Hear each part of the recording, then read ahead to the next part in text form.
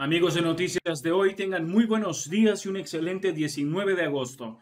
En este video tenemos dos noticias. Primero es que Estados Unidos aprueba la entrega de F-16 a Ucrania, dicen las autoridades, lo cual es algo sumamente importante porque es una gran escalada en la guerra. Ucrania viene pidiendo los F-16 durante meses y pues ahora los tendrá. Aún no tiene una fecha exacta para recibirlos, pero ah, ni bien terminen el entrenamiento sus pilotos, podrán obtenerlos. Y nuestra última noticia es que Estados Unidos cifra en cerca de 500.000 las bajas del conflicto entre muertos y heridos entre Rusia y Ucrania, dándole un número mayor de bajas y heridos en la parte rusa.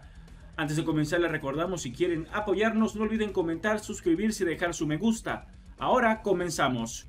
Estados Unidos aprueba entrega de F-16 a Ucrania, dicen las autoridades. A pesar de la noticia, no quedó claro de inmediato cuándo Ucrania recibiría los aviones. Los pilotos deben someterse a una amplia formación antes de que Ucrania pueda recibir los aviones. Estados Unidos ha dado el visto bueno a sus aliados de Dinamarca y los Países Bajos para enviar aviones de combate F-16 a Ucrania, según funcionarios. No quedó claro de inmediato cuándo Ucrania podría recibir los aviones que ha estado buscando durante mucho tiempo para contrarrestar la superioridad aérea de Rusia. En una publicación en X, la plataforma antes conocida como Twitter, el ministro de Relaciones Exteriores holandés, Wopke Hoekstra, dijo, damos la bienvenida a la decisión de Washington de allanar el camino para enviar aviones de combate F-16 a Ucrania. Estados Unidos debe aprobar las transacciones de F-16 porque los aviones se fabrican en Estados Unidos. A pesar de la noticia, no quedó claro de inmediato cuándo Ucrania recibiría los aviones. Los pilotos deben someterse a una amplia formación antes de que Ucrania pueda recibir los aviones.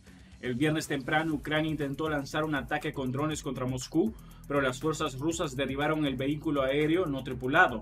Después de que Rusia derribara el dron, los escombros del ataque cayeron sobre el Expo Center de Moscú, un enorme espacio de exposición ubicado a menos de 7 kilómetros del Kremlin. El alcalde de Moscú, Sergei Sobyanin, dijo en Telegram que los restos del dron cayeron cerca del Expo Center, pero no causaron daños significativos. El Ministerio de Defensa británico dijo el viernes en su actualización diaria sobre Ucrania que Rusia ha publicado un nuevo libro de texto de historia rusa para las escuelas en las regiones ocupadas de Ucrania y en toda la Federación Rusa.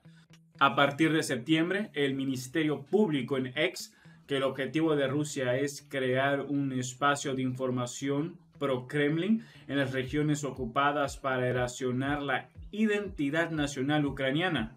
Ucrania afirmó el jueves que su contraofensiva había retomado partes de la tierra controlada por Rusia en la parte sureste del país en un avance más allá de la aldea recién liberada de Urozaine.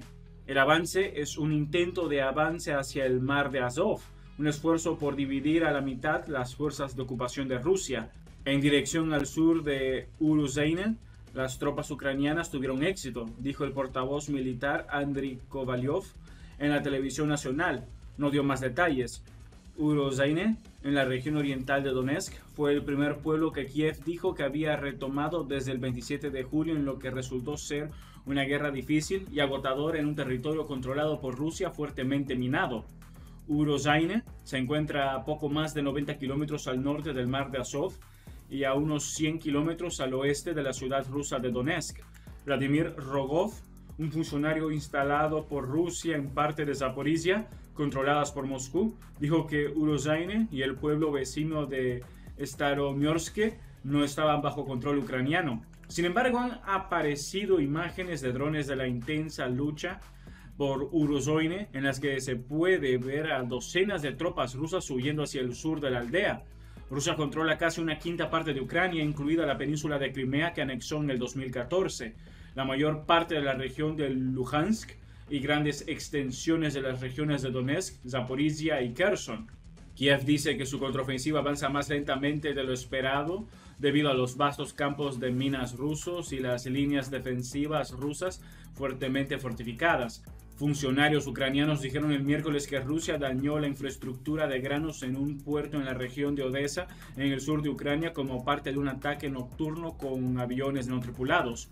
Andriy Yermak, jefe de gabinete del presidente ucraniano Volodymyr Zelensky, dijo en Telegram que el ataque tuvo como objetivo el puerto de Reni en el río Danubio.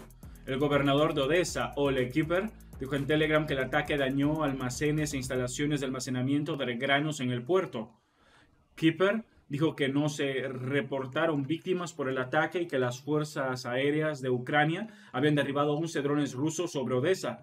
El ejército ucraniano dijo que sus defensas aéreas destruyeron 13 drones durante la noche y que Rusia había usado drones Shahed de fabricación iraní para atacar a Odessa y Mykolaiv. El buque portacontenedores con bandera de Hong Kong, Joseph Shlute, partió el miércoles del puerto ucraniano de Odessa. El viceprimer ministro ucraniano, Alexander Kubrakov, dijo que el barco fue el primero en navegar por un corredor temporal del Mar Negro que Ucrania estableció para barcos civiles luego de la retirada de Rusia de la iniciativa de granos del Mar Negro. El Joseph Shlute transportaba 30.000 toneladas métricas de carga, dijo Kubrakov, el barco había estado atascado en Odessa desde que Rusia lanzó su invasión de Ucrania en febrero del 2022. Rusia no ha dicho si respetará el corredor marítimo de Ucrania. El domingo un patrullero ruso disparó tiros de advertencia a un barco después de que Rusia dijo que el capitán no respondió a una solicitud de inspección. Comenzamos ahora la siguiente noticia. Estados Unidos cifra en cerca de 500.000 las bajas del conflicto entre muertos y heridos en la guerra de Rusia y Ucrania. El número de bajas que se han producido en los 18 meses que han transcurrido desde que Rusia inició su invasión masiva de Ucrania se acerca a 500.000 entre muertos y heridos, informa The New York Times citando fuentes del gobierno de Estados Unidos en el bando ruso, los muertos alcanzan la cifra de 120.000 frente a los 70.000 soldados ucranianos fallecidos en combate.